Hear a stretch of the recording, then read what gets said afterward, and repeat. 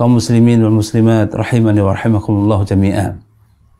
Sebagaimana telah kita ketahui semua, baik kita lihat di televisi atau kita baca di koran, apa yang terjadi pada saudara-saudara kita di Suriah. Sekarang sudah masuk tahun ketiga dan begitu banyak korban berjatuhan di sana.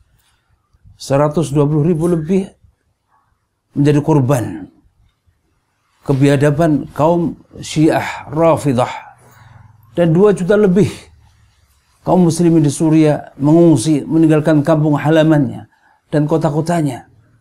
Ini semuanya karena akibat kebiadaban kaum Rafidah ini. Kita kaum muslimin di mana pun saja berada tidak terpisahkan oleh negara, oleh wilayah. Karena kaum muslimin satu dengan yang lain adalah bersaudara maka menjadi kewajiban kita sebagai sesama muslim, sesama mukmin untuk menolong saudara-saudara kita di sana. Allah Subhanahu wa taala telah berfirman dalam kitabnya yang mulia, "Wa in istansarukum fid din fa alaikumun nasru."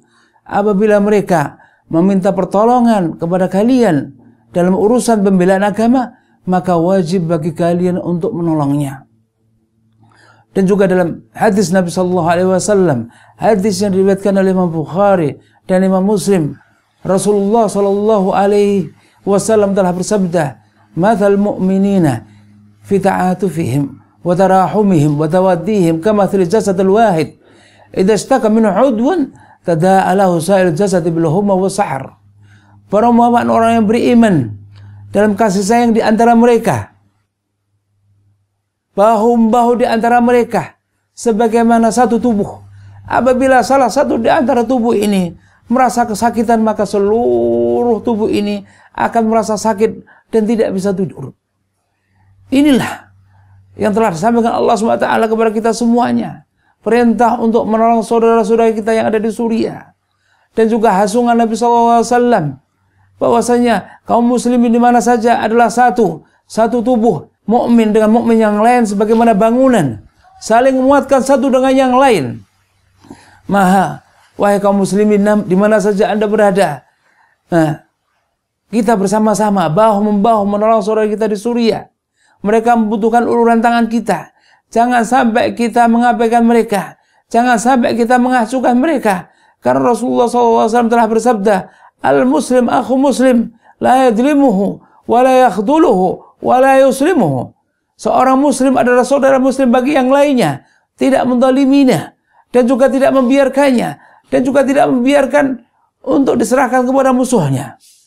Maka al-muslimun, kaum muslimin semuanya yang ada di mana saja berada. Ini merupakan anjuran dari Allah SWT. Melihat keadaan saudara kita di sana, apalagi pada hari-hari yang terakhir ini. Bagaimana di sana sebuah kota, kota Hams, pada saat ini sedang terkepung dari segala penjuru. Di sana ada sekitar 800 keluarga. Anak-anak, wanita, orang tua dan seterusnya terkepung oleh pasukan Rafidah. Sampai kemudian mereka meminta fatwa kepada para ulama bolehnya untuk makan daging kucing dan anjing. Bagaimana kita sebagai saudara muslim bagi yang lainnya Apakah kita tidak memiliki kepedulian terhadap saudara kita di sana? Sementara Rasulullah Shallallahu Alaihi Wasallam telah memberitahu kepada kita, "Ma min muslimin khadala musliman fi mawdi'in tuntahaku fi hurmatuh wa yuntaqasu fi irduh illa khadalahu Allah fi mawdi'in yuhibbu fi nusatrah." Tidaklah seorang muslim membiarkan saudara muslim yang lainnya pada saat dia kehormatannya dan kemuliaannya dihinakan, kemudian dia tidak menolongnya, maka Allah SWT akan mengabaikannya ketika dia membutuhkan pertolongannya. Maka ini adalah kewajiban bagi kita semuanya untuk menolong saudara kita di Suriah. Dengan segala apa saja yang kita miliki. Dengan harta, dengan jiwa, dengan doa, dengan uluran tangan. Nah, maka sebagaimana kita ketahui, sodakoh pada waktu bulan Ramadan memiliki keutamaan yang lebih dibandingkan dengan bulan-bulan yang lain. Rasulullah Shallallahu Alaihi Wasallam bersabda dalam hadis yang diriwayatkan oleh Imam Tirmidzi, "Sadaqatu fi Ramadan afdalu sadaqah." Sedekah pada waktu bulan Ramadan adalah sebenarnya seutama-utama sedekah. Maka ini menjadi kewajiban bagi kita semua. Wahai kaum muslim di mana saja berada untuk bahu-bahu menolong saudara kita di sana. Kalau tidak mampu maka angkatlah tangan, ulurkan doa kepada Allah SWT. Semoga Allah SWT segera menurunkan pertolongannya kepada saudara kita di sana. Dan kemudian mengangkat penderitaan yang selama ini mereka alami. Mungkin ini saja yang bisa sampaikan pada kesempatan kali ini. Semoga apa yang saya sampaikan menjadi perhatian kita semuanya. Aku liqauli hada wa astaghfirullakum wa lisa'il muslimin fastaghfiru innahu rahim. Wassalamualaikum warahmatullahi wabarakatuh.